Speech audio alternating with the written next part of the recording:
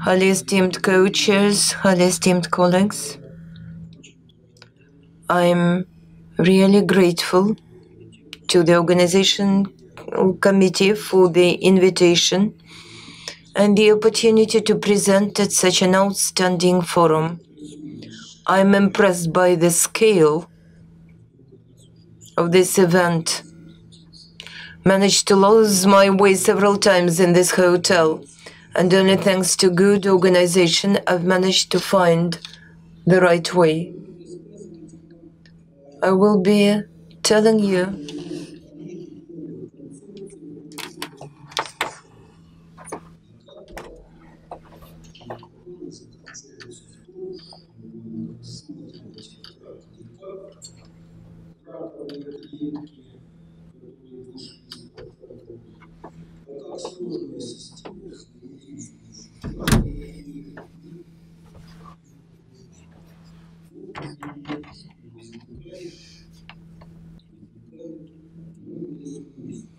Thus we have the new features, the so-called emergent features. They are unpredictable and this is the main difficulty in terms of treating cancer. That's how cancer was considered just a few years ago. On the whole, cancer is incurable, and they said, and nevertheless, in some cases, the accepted therapy, chemotherapy, radiotherapy, leads to success.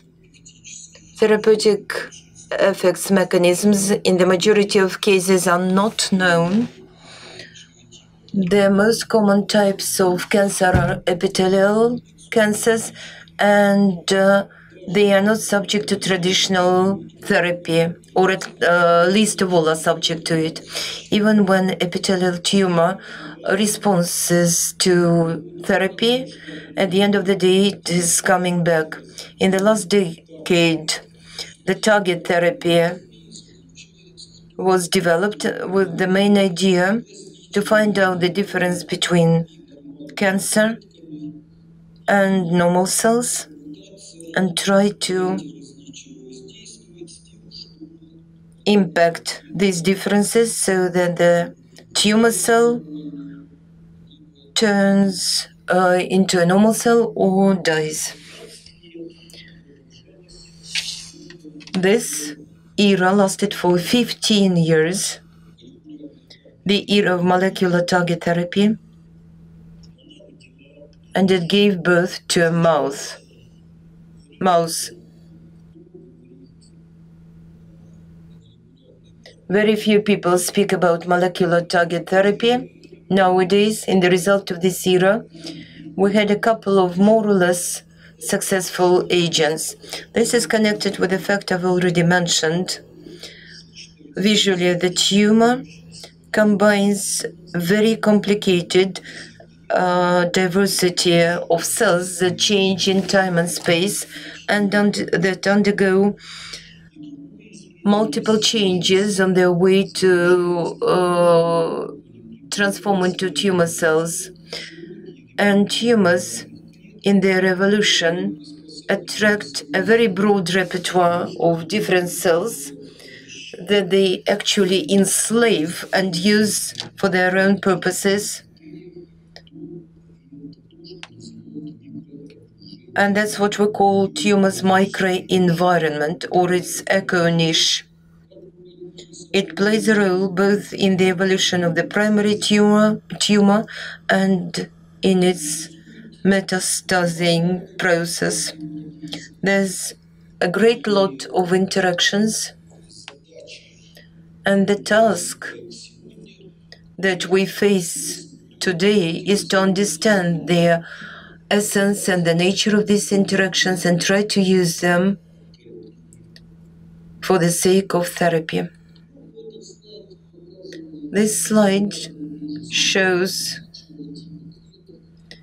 a great number of various cells that are being involved into these interactions. You see here mesenchymal cells, fibroblasts associated with cancer, fibro, uh, myofibroblasts, hematopoietic cells, lymphoid cells, myeloid cells, neutrophils, etc., etc. This is the cellular component of the tumor and extracellular component of the tumor is called the extracellular matrix. And all this represents a common evolutionary system, a common organism. Very often tumor is considered today as a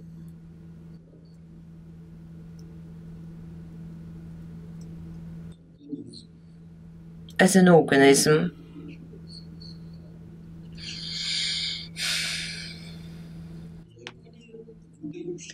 The most outstanding example of the role of interactions between tumor cells and stromal cells is the inhibition of the immune response to tumor cells. Immune cells are included into the stromal environment and when they come across a new tumor, at first they are activated and uh, they take an attempt to kill the tumor. For this activation, three signals are needed. Number one, T cell receptor interaction with the the uh, histocompatibility complex that contains the antigen. That's you may see it here. Co-stimulating molecule interaction with the corresponding ligand on antigen antigen presenting cell. And signal number three, uh, cytokines that are passed over from the APC, from the tumor cell to APC, and from APC to the tumor cell. You will see later. Well, actually, this is a standard image that you will be able to find in any textbook, in any review, but this is not a correct understanding. If the cytokines uh, were discharged so simply into the space, they would have never achieved the uh, goal they are meant to achieve. There exists a lot of co-stimulating and co-inhibiting receptors.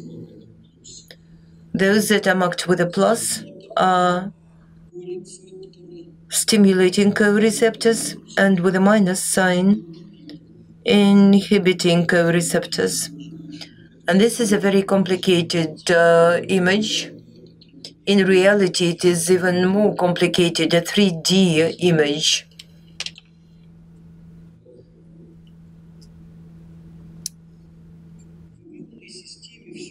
In the immune system, uh, the immune system is very wisely organized. For example, it can recognize the cytokines are not marked here, but you may see the receptor with the MHC or major histocompatibility complex and co-stimulating molecule and its ligand on two interacting cells. So the immune system is organized in such a way that as soon as interaction between T cells of the immune system start interacting with the uh, immune system and prior to the start of the immune response, a co-inhibiting receptor uh, comes onto stage on the T cell. It interacts with its uh, co-inhibiting signal. In this case, it's the same signal with which the co-stimulating receptor interacts as well. What uh, this is needed for? This is needed for the immune system not to accelerate too much. If it is uh, accelerating too much, if there will be no counteraction uh, that starts in the bottom and uh, uh, becomes more potent with time, the immune system will give birth to too many healthy cells. So this is a kind of auto-regulation, a very wise auto-regulation at that. But the tumor cell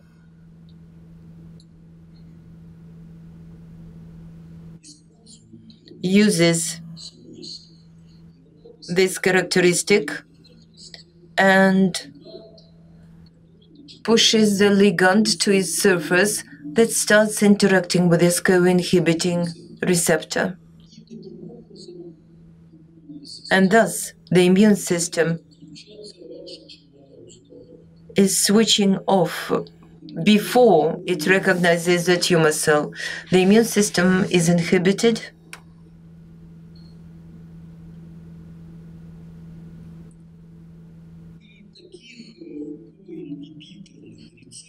and the tumor cell uses many such co-inhibiting receptors. At the end of the day, the immune system is inhibited completely. And that's the first example, one stromal interactions and the interaction of the immune cell with the tumor cell is an interaction of a tumor cell with stromal elements. And this is an example when this uh, interaction is being used for the sake of therapy. The idea was uh, very uh, simple.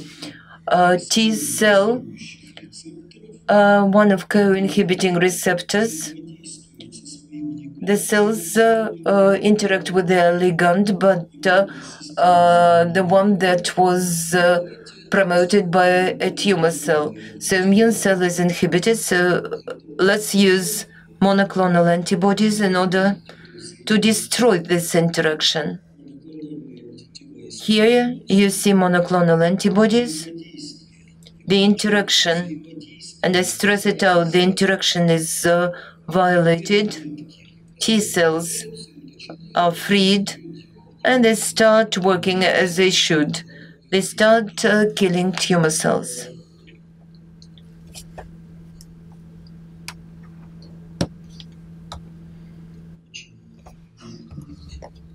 The point is very slow, sorry.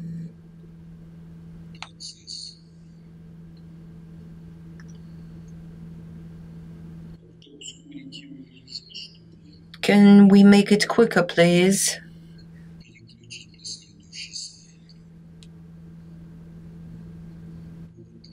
Thank you. I've put this text on the slide uh, on purpose in order to stress out that a principally new step had been made that changed the paradigm of uh, cancer therapy. Instead of treating mutations in the tumor cells, the new therapy is focused on the on destroying complicated interactions of tumor cells with stroma that defines the success of the evolution of the tumor uh, organism. These interactions allow tumor cells to inhibit immune cells in their environment and thus avoid the destroying of the immune system. This idea started to, to be developed around five to seven years ago, and very quickly, next slide, please. Very quickly, it turned out the effect of such impact was extremely high and unusual for the tumor. Practically complete cure was achieved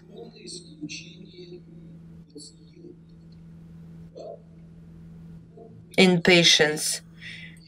It became possible to cure cancer Everything would have been great if not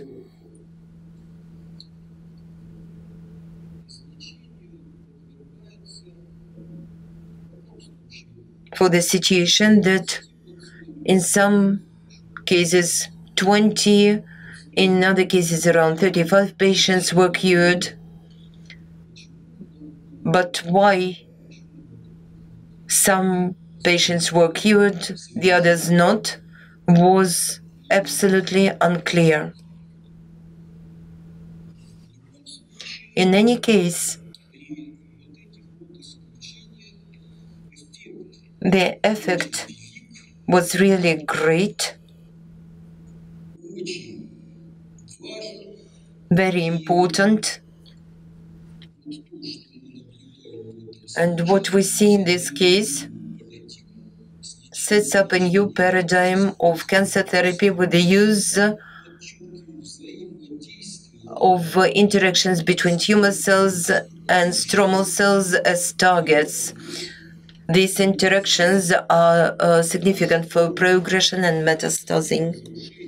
The fact that the damage of these interactions of immune cells with tumor cells give uh, very powerful but not complete effect is uh, not very good, certainly, but I've shown you a huge variety of various receptors maybe we should use them, or maybe we should use the interaction between tumor cells with some other components of stroma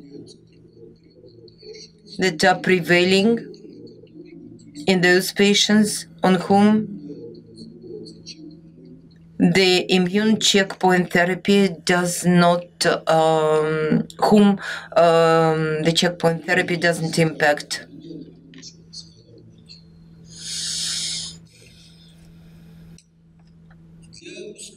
To successfully realize this paradigm, we have to understand how these interactions between tumor cells and stromal cells occur.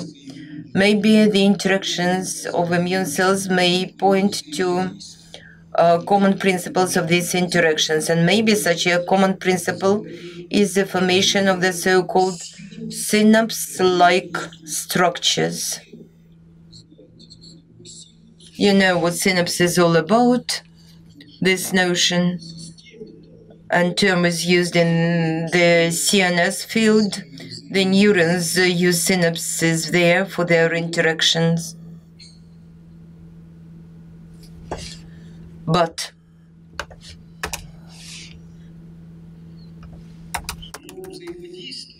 the interaction uh, synapses like uh, um, interaction or interactions are not limited to the CNS.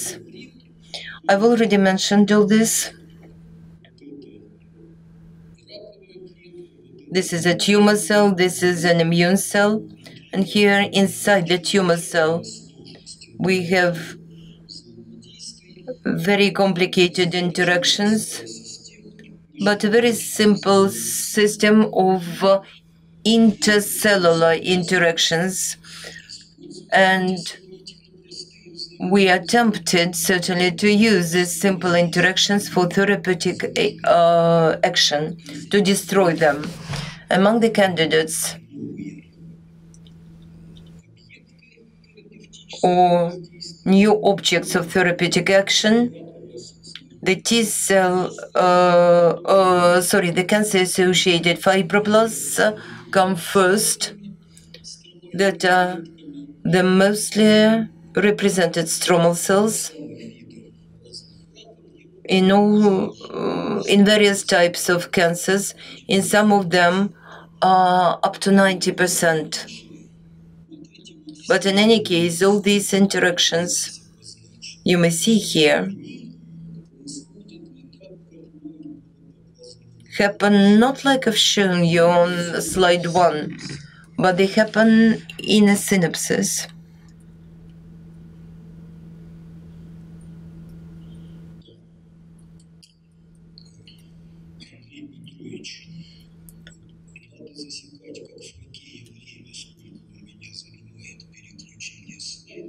It takes me too long to change the slides, I'm sorry.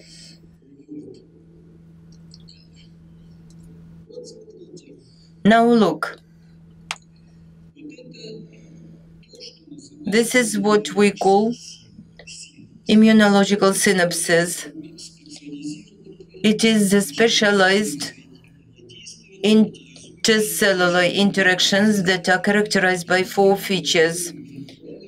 Near localization of the immune cell membrane and the antigen uh, presenting cell, uh, 12 to 15 nanometers. Second, adhesion. Aside for interaction of T cell receptors with antigen presenting cells, you can see them in the center here. Adhesive molecules take uh, part in it as well, and they reinforce this interaction and also prolong it. These adhesion molecules are shown here. Num feature number three is the stability. And number four, and this is very important, and the thing that is much underestimated in uh, theoretical works on intercellular interactions and immune interactions are visually the targeted secretion. Here I've uh, tried to show this uh, targeted secretion. It goes on not like shown before, like uh, cytokines, exosomes are discharged into space, but this secretion is highly targeted. It happens inside the synapse.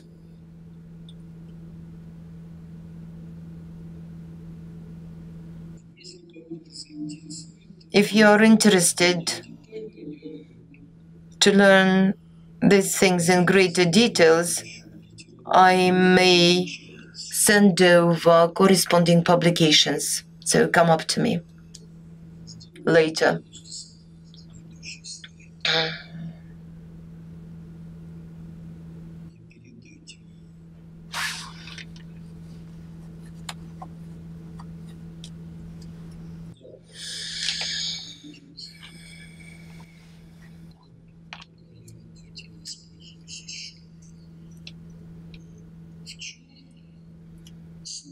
What is the idea of this targeted secretion? The main idea is to create high concentration of uh, uh, secreting molecules in uh, a small space in order to increase the efficacy of their action. This is achieved by the fact that all these interactions, all these molecules inside the cell are connected with cytoskeleton. And when this interaction takes place, the cytoskeleton is reorganized. In particular, the secreting Golgi apparatus is immobilized, uh, is mobilized to the location of the synapse. And hence the secretion via Golgi goes via the synapse. And that's a wonderful example of uh, the interaction between external contacts, these ones, and the internal uh, components of the cell. The cell is polarized, all the cellular resources are mobilized to the area of the synapse. This is of paramount importance that goes on in the immune system.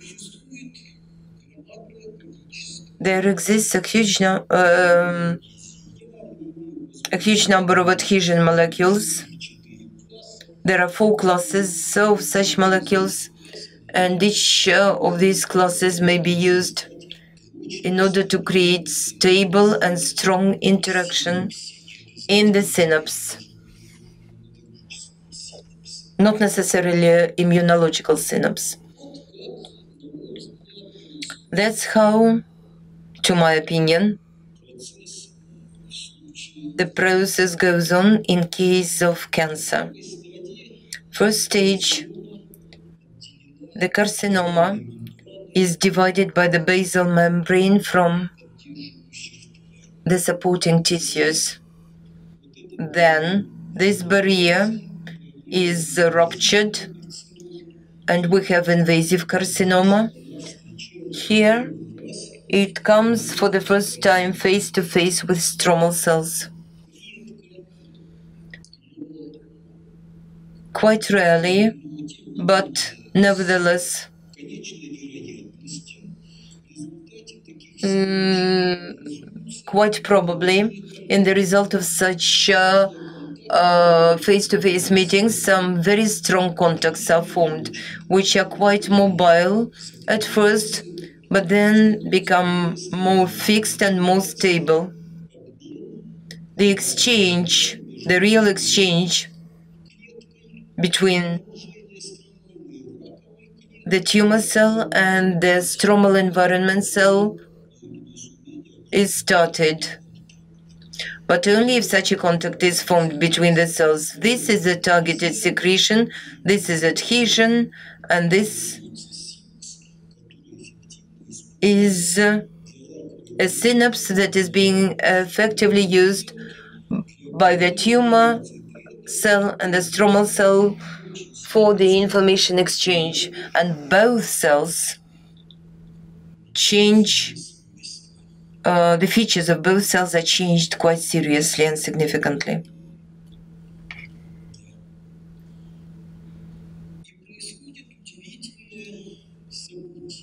And uh, an outstanding thing happens. Those cells that have met the tumor cell and have formed such strong contacts with it and started exchanging information with it, they are reprogrammed or transdifferentiated. You see here a huge lot of stromal cells provided they form such a contact turn into tumor-associated fibroblasts I've mentioned before. Tumor-associated, uh, cancer-associated fibroblasts acquire a common phenotype, never mind their origin. You see three main features of uh, cancer-associated fibroblasts here, but mainly they preserve the characteristics of the initial cells they've been formed out of. It's a very interesting process enslaving of uh, the environment by these uh, tumor cells.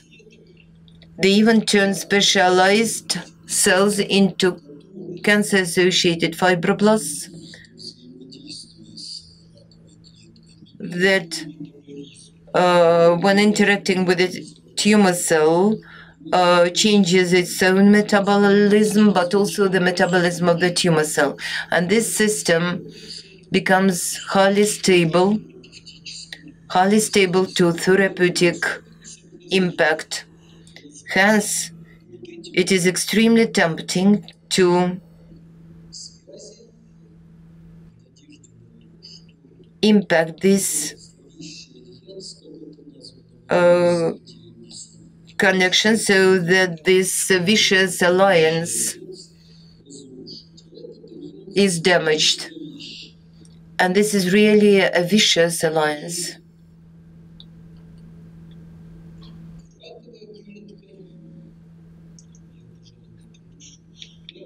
Tumor cell may interact directly with T cells and uh, the synapse is also formed here, but we'll be more interested by the interactions between the cancer cells with cancer-associated fibroblasts.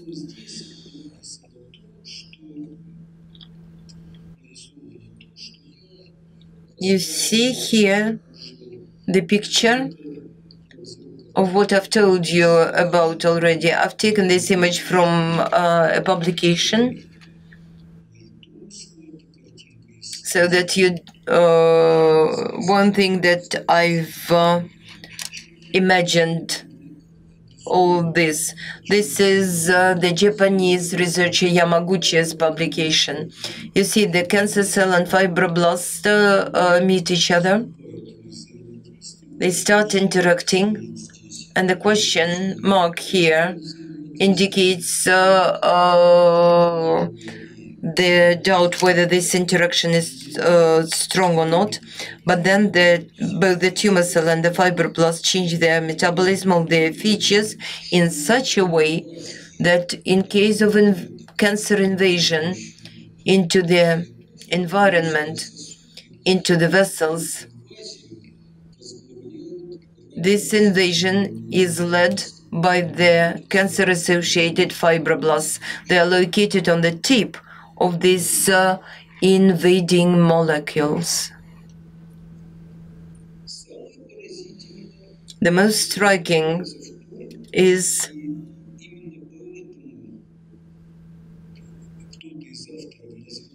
and actually that's why somebody called this alliance between cancer cell with uh, fibroblasts a vicious alliance. So the most striking and the most important for the sake of understanding of uh, metastasis processing, and I don't have to explain to you that the metastases make uh, the cancer a deadly disease. So, not individual cancer cells uh, are uh, go along their uh, blood vessels, but whole, but whole clusters that include both cancer and stromal cells. A separate cancer cell, as was shown, is responsible only for 1% of metastasis. 99% of mets are connected with the formation of this metastasizing and circulating cancer complexes or clusters that include uh, um, metastasizing cancer cell with fibroblasts or other stromal elements. The latter protect the cancer cell from destroyal in the blood flow and help it uh, uh, to find its uh, place in other organs.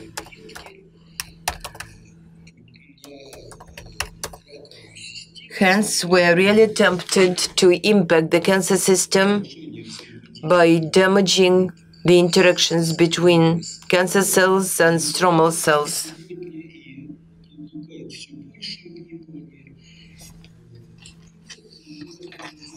And more and more researchers are now dealing with this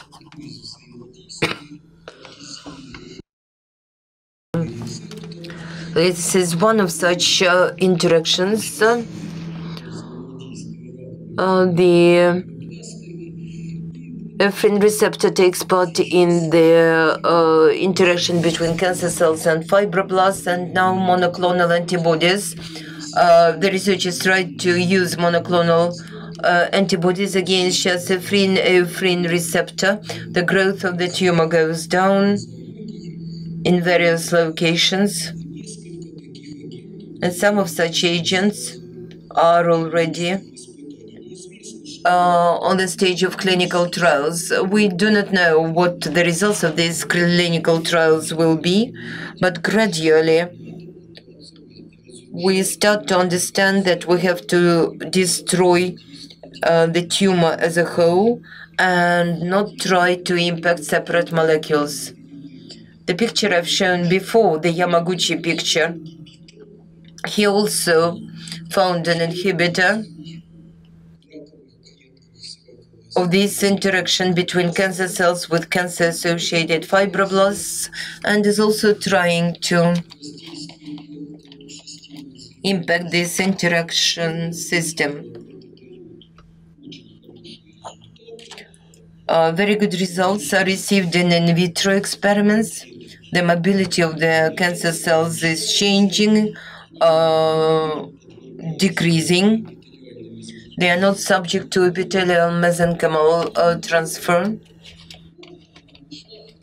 And uh, metastases go down in uh, mouse experiments. But it is still a long way to go to the final result.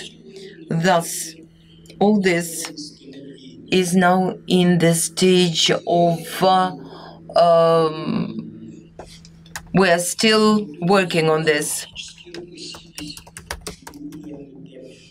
I've always been quite skeptical in terms of molecular target therapy. I've published my first review on this topic around 10 years ago in the Cancer Gene Therapy journal. But unfortunately, it uh, didn't provide an effect I was counting upon. But now the practice shows that I was right. However, and uh,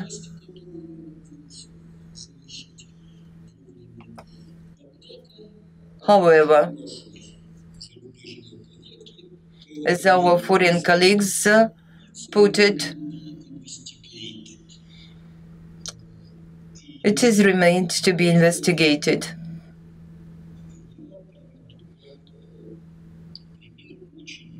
I will give you an example, a fundamental example, uh, an example of a fundamental work that shows that such an adhesion adhesive molecule as CD44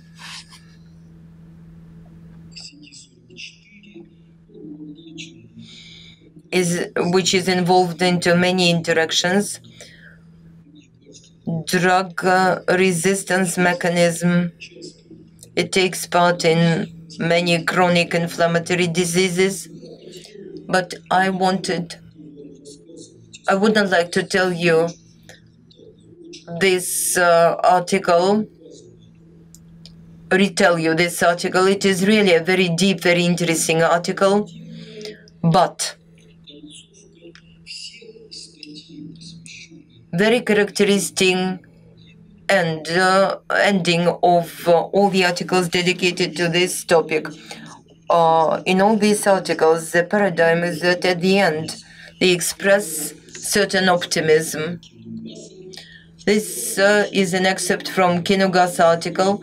On the whole, our data envisage that the use of agents uh, against uh, CAFS would allow to eliminate uh, cancer cells completely by targeting CD44. This may be a highly promising new strategy of cancer therapy. And then, not such a high uh, optimism. CD44 is expressed on the membrane of many different types of cells, hence the drugs have to be delivered to CD44 positive CAF, and we have to define uh, accurate molecular mechanisms of CD44 impacting the mo molecules associated with the uh, stem mechanisms. We are very far up to now, though some approaches are being uh, studied. For some patients, we managed to reach success. But on the whole,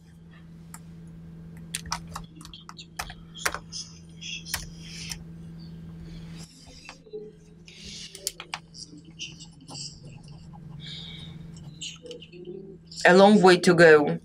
Back in 1996, Alfred Knudson whom you see on this slide, an absolutely outstanding cancer researcher.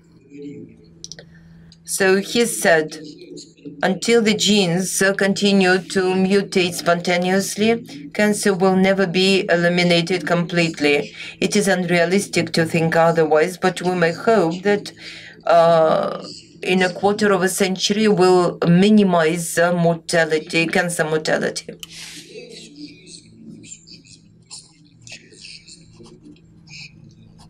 For many years, as of lately, I've been working uh, on this uh, in this field uh, of the cancer therapy, and I'm sure that this minimization of cancer mortality will be due to early diagnostics and uh, removal of tumors at early stages.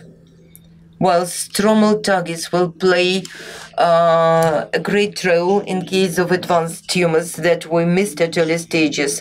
Tomasetti and Vogelstein demonstrated one interesting thing.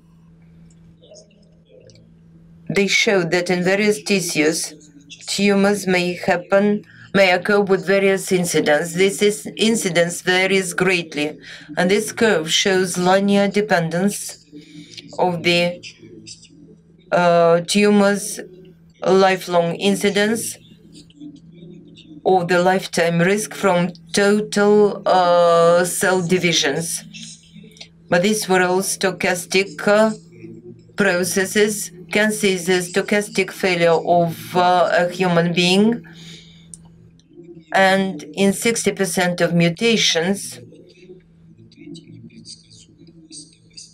the unpredictable stochastic effects are to blame that can't be uh, prevented by the change of the environment, uh, uh good diet, uh, stopping smoking, etc. Hence, the main funding has to be aimed not to, to the prevention of cancer by changing the surrounding conditions, but to the detection uh, of early cancers. Naturally, this uh, problem is uh, under active debates, but as of today, 15% of all the funds allocated for cancer go uh, to early diagnostics. All the others are aimed to treat late or advanced cancer when it is practically incurable, even provided that such an efficient therapy is used as a therapy targeting the break uh, in the interaction between cancer cells and stromal cells. Thank you. Any questions from the floor? Tell me, please, Evgeny Davidovich. We have a, a controversy here. This early diagnostics uh, led to the fact that many pathologists can't uh, uh, diagnose many cases of uh, breast cancer or thyroid cancer because uh, it is too early. They can't understand uh, the prognosis. And many programs of early diagnostics, for example, screening in Japan among children, have been cancelled. It turns out that theoreticians call us to diagnose early, while the pathologists doubt these early diagnostics. Yes, this is true. I didn't mention that early diagnostics. I didn't say that uh, we have to start using early diagnostics immediately. I uh, use the word development. And the main funds, to my opinion, have to be aimed to develop new, effective, and accurate mm, diagnostics methods. While now we have too little funds that are allocated uh, to this. Uh, the majority of the funds go to this uh, uh treatment of incurable cases. I've mentioned a couple of more or less successful agents of uh, anti-cancer therapy. And they are imatinib against hybrid tyrosine that is being formed in Philadelphia chromosome in some chronic uh, leukemia cases.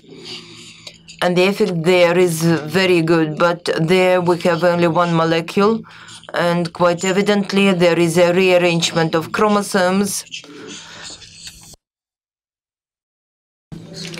Kinase that is different from all the others is being formed. And the second drug is Herceptin. Herceptin is aimed against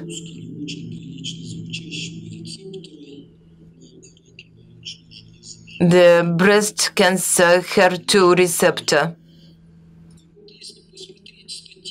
If we look at the statistics,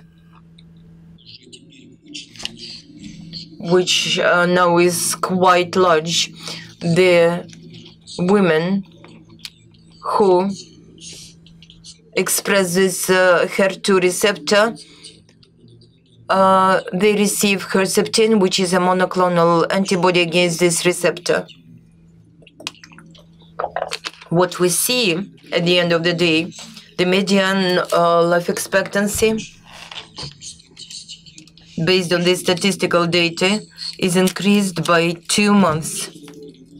Certainly I understand that two months for the woman herself, for her family,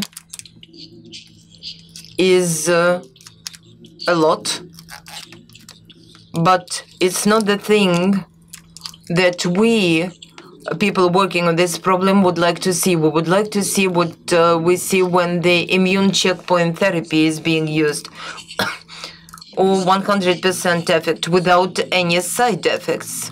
Unfortunately, in the immune checkpoint therapy, I didn't uh, manage to tell you about this since the natural brakes of the immune system are being inhibited and the immune system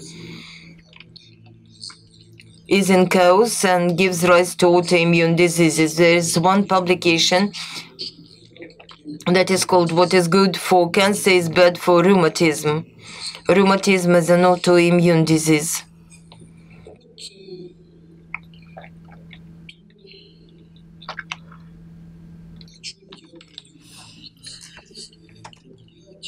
And that's my main idea. We have to allocate the funds larger funds to develop efficient methods of early diagnostics. What I told you about immunological synapses have been decoded uh, uh, down to great details. Physical chemical analysis and uh, different FRET, FRAP, fluorescent microscopy, mass spectrometry. There's uh, lots of different methods and they are highly sensitive. But somehow they are not that much used in the area of clinical diagnostics. Thank you, Evgeny.